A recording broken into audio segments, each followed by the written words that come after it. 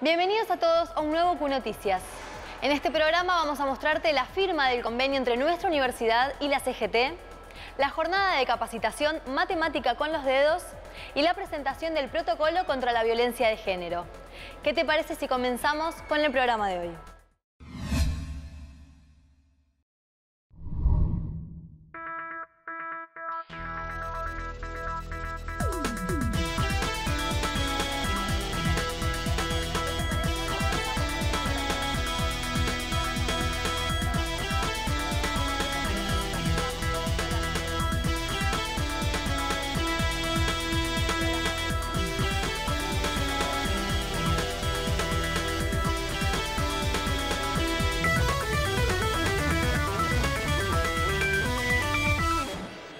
Firmado entre nuestra universidad y la Confederación General del Trabajo busca desarrollar procesos de cooperación en distintas áreas y brindar capacitaciones para la formación sindical.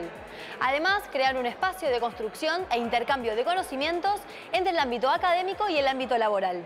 Para nosotros como una universidad nacional, trabajar junto con una organización como la CGT es un desafío muy importante eh, y poder contribuir a la formación de tanto de, de, sus propios cuadros políticos y sindicales como a través de los trabajadores es un desafío para nosotros central. Que hoy hayamos firmado este convenio con el rector de la Universidad de Quilmes y la CGT nos da posibilidades y más herramientas para todos aquellos que tengan necesidad de generarse una vida digna a través del trabajo. Desde hace un año en la universidad creó una unidad de, trabajo que se llama Red Unitrabajo, que es una confluencia entre la, la idea, base es poder empezar a confluir entre la universidad y el movimiento obrero, sindicalismo propiamente dicho, un modelo de articulación enfocado fundamentalmente en lo que nosotros podemos aportar, que es el tema del conocimiento formación, formación sindical, formación profesional, utilizando nuevas tecnologías. Hoy hay que saber idioma, hay que saber de sistema de computación, todos los programas que manejan los hoteles, es decir, tiene que tener conocimientos de informática, tiene que estar preparado, este, relaciones humanas. Bueno, todo esto el trabajador desde tiempo lo necesita para mantenerse en sus puestos de trabajo, es lo que están trabajando, y aquellos jóvenes que quieren insertarse en el mundo del trabajo tienen que tener esos conocimientos para que puedan tenerlo. Si no, quedan afuera. En los últimos años, por primera vez en la historia de Argentina, la universidad pública empezó a ser por fin la universidad de los trabajadores. este, y, y bueno, creo que la firma de este convenio en el día de la fecha va en ese sentido, de afianzar este proyecto de universidad pública comprometida con el mundo de los trabajadores.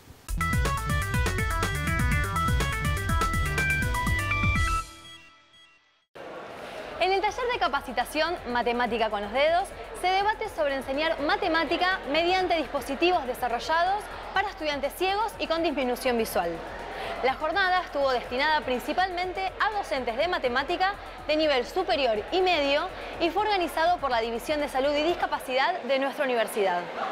Esta capacitación específicamente está en el marco del de, proyecto de accesibilidad académica que fue aprobado desde la Secretaría de Políticas Universitarias, eh, en el cual conformamos junto a otras universidades públicas varios proyectos que van a estar enmarcados en el eh, proyecto que tiene el Ministerio de seguir trabajando en pos de las personas con discapacidad en su inclusión plena en las universidades públicas. Lo que presentamos son dispositivos táctiles eh, de apoyo, de asistencia tanto al docente como a los alumnos para que puedan eh, practicar y comprender temas de la matemática. Por un lado, digo, presentamos los dispositivos, por otro lado ofrecemos una eh, capacitación a los docentes de escuelas especiales y a los interesados en general en esto de la didáctica, de enseñar a a personas que tienen una discapacidad visual. La convocatoria es abierta a la comunidad, así que tenemos no solo la presencia de los docentes de la casa, sino también los docentes de todas las escuelas secundarias que también este, se han inscrito y han adherido a esta invitación.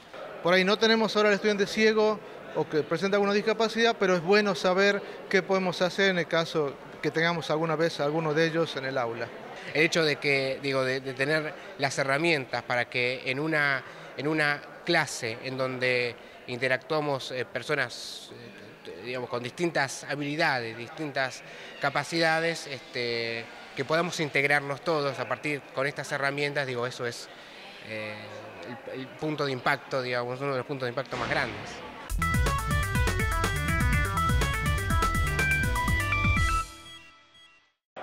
El programa de acción institucional para la prevención de la violencia de género realiza tareas de prevención, asistencia, asesoramiento y orientación. Realizaron una jornada para presentar el protocolo de acción contra la violencia de género, donde participaron autoridades de la Universidad Nacional de San Martín y la Universidad Nacional de La Plata.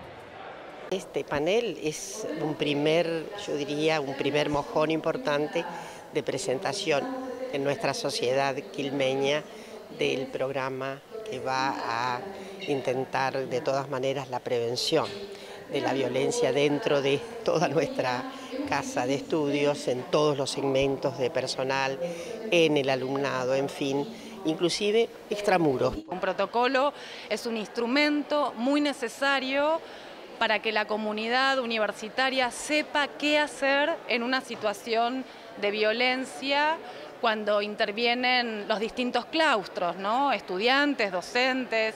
Estudiamos el género, estudiamos la historia de género, tenemos eh, especializaciones sobre género y derechos humanos, género y comunicación y em, bueno, ¿cómo hacemos para todo eso que acumulamos como conocimiento? Ponerlo también a disposición de nuestra propia comunidad y reflexionar un poco sobre nosotros mismos. Es una manera de dar garantías, ¿eh?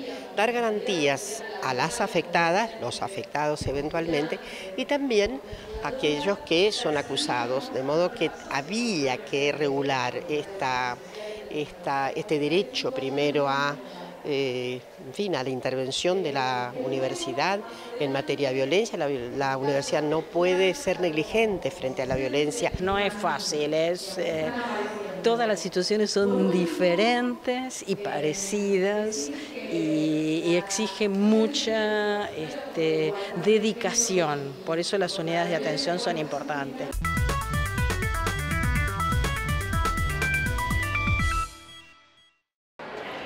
Llegamos con el programa de hoy. Podés volver a verlo en nuestra página web y seguirnos por nuestras redes sociales. Además, encontrarnos en el campus virtual de la modalidad de estudios a distancia de nuestra universidad. Nosotros volvemos a encontrarnos la próxima semana.